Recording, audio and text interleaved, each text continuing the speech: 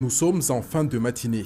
À certains endroits, la circulation est plutôt fluide, comme ici sur la côte Sogea.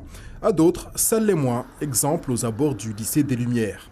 Les usagers, quant à eux, semblent unanimes sur les bienfaits de la circulation alternée et encore, une marge de progression existe. Pour l'instant, ça a été bien. Il y avait moins de, voitures qui circulaient, mais bon, il y a toujours euh, des gens qui essayent de jouer au malin. C'est-à-dire qu'ils sont au père, alors que les pères, normalement, ils ne circulent pas aujourd'hui.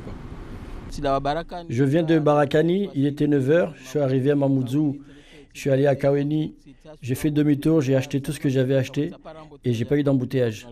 À Chicago, il y avait des embouteillages parce que euh, la plupart des chauffeurs ne respectent pas les impairs et impairs. Ils rentrent, ils veulent tous rentrer.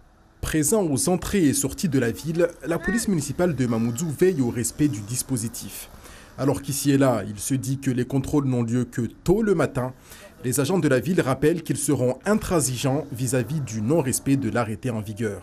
Sachez que vous pouvez à tout moment tomber sur une patrouille à l'intérieur de Mamoudzou qui va vous contrôler. En ce moment-là, vous allez recevoir également cette amende de 135 euros.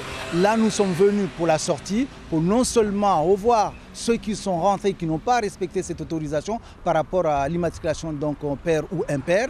Et là, vous voyez ce qui se passe. Ce sont près de 500 véhicules qui ont été contrôlés ce matin pour un bilan de 9 amendes distribuées, sans compter les contrôles qui ont eu lieu en fin d'après-midi. Plébiscitée par une partie de la population, la circulation alternée d'Amamouzou sera maintenue jusqu'au 8 décembre.